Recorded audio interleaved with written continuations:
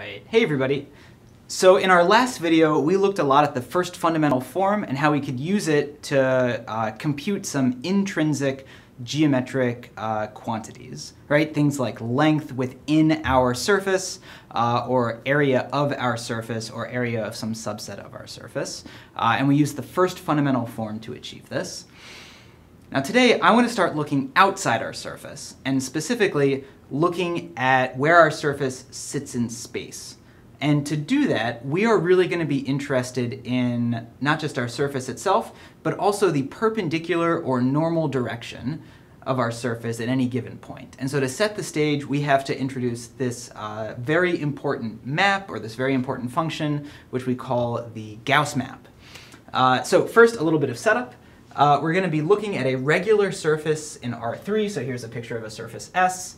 Uh, and we note that as long as our surface is regular, at every single point, P, on our surface, we have a well-defined tangent space, right? A well-defined T uh, sub P of S. So we have a well-defined tangent space, that is a two-dimensional space, and that also means, because we're sitting inside of R3, right, that there is a one-dimensional subspace that's perpendicular to the tangent plane, and therefore perpendicular to the surface, right? And we call that direction the normal direction, right? So for example, if I were to, uh, that's great, if I were to take this as my point P, right, then it's likely uh, that I could create my tangent plane, TPS, that would be a two-dimensional space, and then there's going to be one direction, right, or one dimension that is completely perpendicular to or completely normal to my surface at that point. Now what that means is that if there's a uh, uh, direction, right, that's perpendicular to our surface, right, there are actually going to be two choices of unit normal vector, right? So if this is a perpendicular direction or a normal direction, I can think of the unit normal vector, that's the vector of length 1, that's perpendicular to my surface and perpendicular to my tangent plane, and I have two choices. I either have the vector that's of one unit pointing, you know, for lack of a better word, directly up, or of a vector of one unit that's pointing directly down, right? And so with that one-dimensional direction that's perpendicular to my surface at that point, I really have these two uh, choices, or this choice of two different directions, either quote-unquote up or quote-unquote down.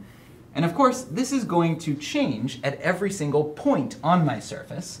So for example, if I move to a different point, and let's say maybe I move to, to this point right here, right? Then all of a sudden, my tangent space is different, right? Maybe this one is sort of more in this direction, uh, and my unit normal vector would point in a different direction as well. So at this point Q, uh, I would get this direction right here, right? A different unit normal direction. But at each point on my surface, I could find such a tangent space and I could find such a perpendicular direction.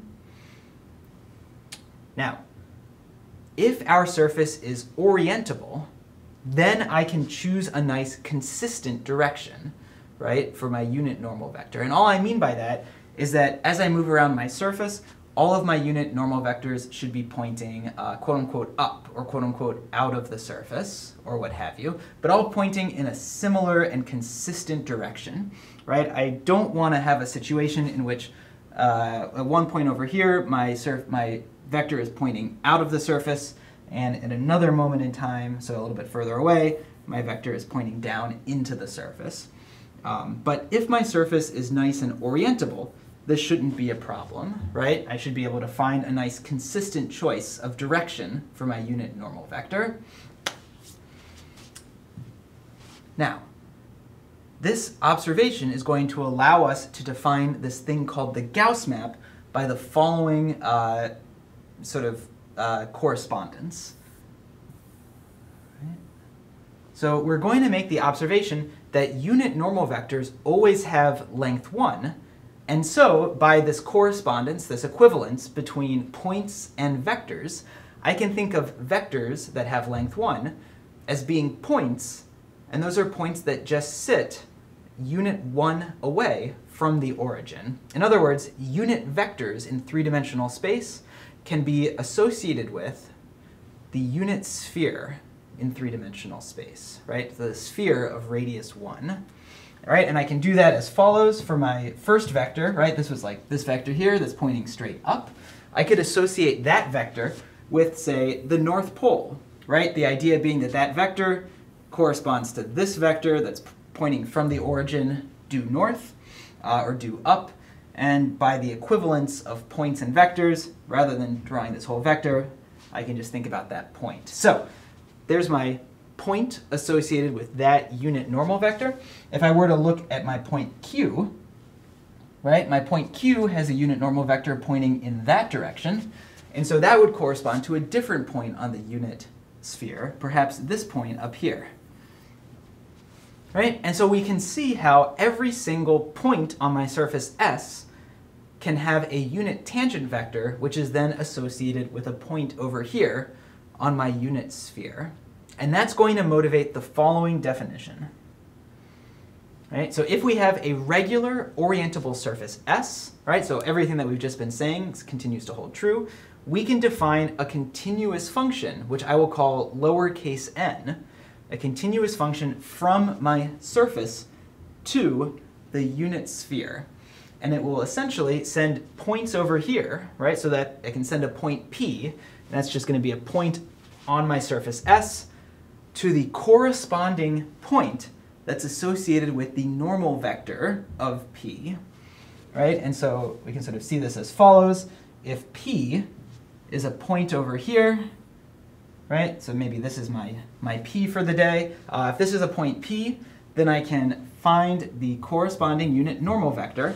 And then over here, the point I get on the sphere, that is going to be n of P right? And I can do this for every single point. So if I choose a different point with a different color, right? Let's say I choose a point here that's just in a similar spot but a little bit further up the surface. I'll get a slightly different, oh, let's choose. Let's choose, let's draw that a little better. If I got a point here, I can have a slightly different vector, right? Still a unit vector, but maybe the angle is slightly different, the direction is slightly different, and so I get a different corresponding point over here right? And similarly, I can plot each of these points to their corresponding point on the sphere. Now, this function, right, this little n of p, or this little n, is going to be called the Gauss map, or sometimes we'll simply call it the defined orientation on our surface, right? And if a surface has a well-defined Gauss map, we'll call that surface orientable. Surfaces that might not have a well-defined Gauss map might be surfaces such as a Mobius strip, right? Or other surfaces in which as you move around the strip, you change, or as you move around the surface, you change your orientation. All right, worth saying out loud that the Gauss map is a map from one surface to another surface, right? It's from the surface, capital S, to the unit sphere, which we're writing as script S uh, upper uh, uh script S2. So it turns out to not depend specifically on a given parameterization, right? There was no parameterization in our previous picture.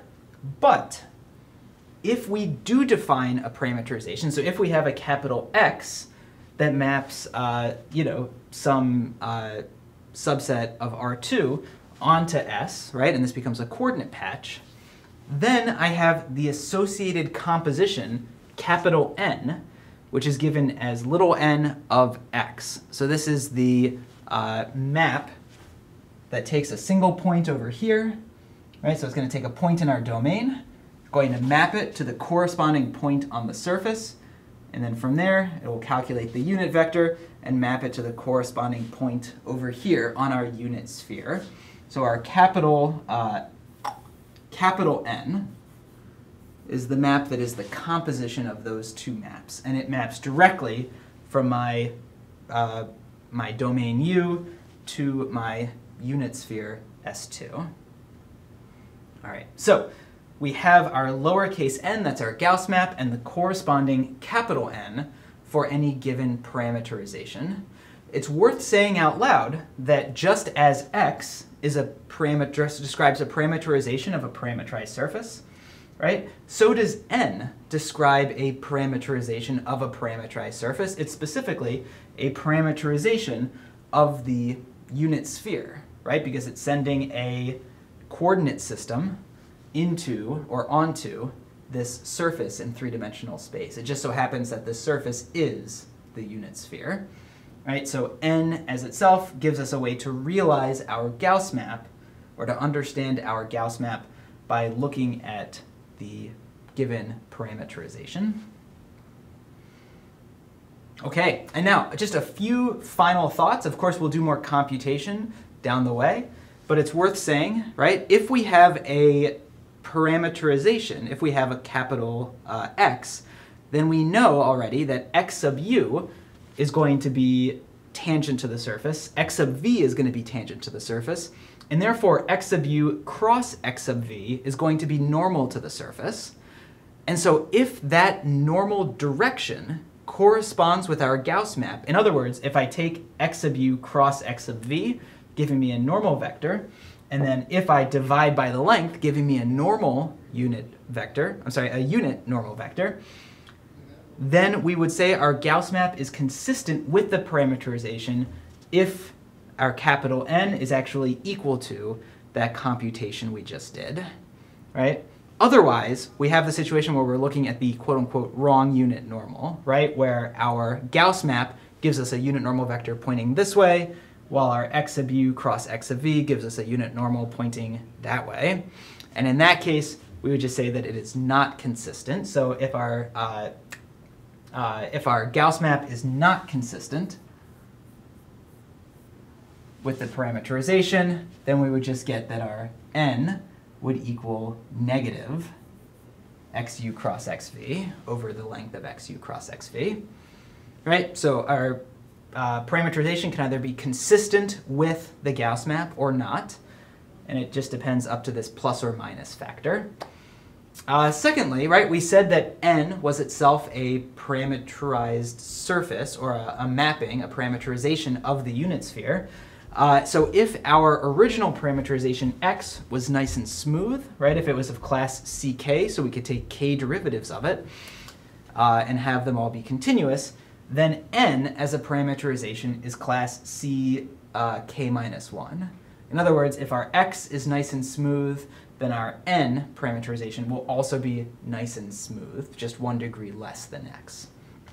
Um, and that, in a certain sense, makes sense because, right, our n was defined using, or it could be defined using the derivatives of x and v. So we would have to take one more derivative to get to our definition of n. Uh, the final thing that I want to say in this video is that, in fact, our, if we consider both the surface itself and the unit sphere as parameterized surfaces, and we consider their corresponding points, p, and what it gets mapped to, n of p, then the tangent spaces, TPS and T sub np, of the unit sphere are actually parallel to each other, right? And I just want to point out this, this nice fact that if I have a surface and I create its tangent space, right, then the unit normal vector is perpendicular to that tangent direction, which means that that vector here will get mapped to this point up here, and then the corresponding tangent space over here, right, so this tangent space over here is exactly t sub n of p of the surface S2, right, this is exactly going to be parallel to that tangent plane down there. So oftentimes, if we're working on some sort of tangent space here, we can think of it as being equivalent to the tangent space up here, and vice versa. And at moments in the you know coming weeks, we will take advantage of this parallelity and this equivalence so that we, if we're looking at some computation we want to do on some vector up here, we can just take the corresponding vector down there and work in that tangent space as well. So I'll try to identify that when we're doing it going forward.